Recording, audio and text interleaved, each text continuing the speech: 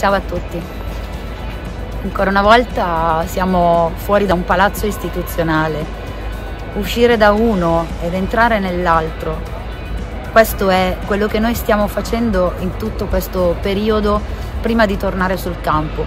Stiamo cercando di abbracciare e farci abbracciare da tutte le istituzioni possibili proprio perché la sicurezza diventi alla portata di tutti e sia realizzabile da tutti. Noi facciamo sempre del nostro meglio, il Presidente Fontana oggi ci ha accolto e già questo è stato un passo importante e ne vogliamo compiere tanti altri insieme. Approfitto di questo momento per ricordare a tutti che la Nazionale Italiana Sicurezza sul Lavoro è un'associazione di prevenzione sociale, quindi aiutateci col vostro 5 per 1000.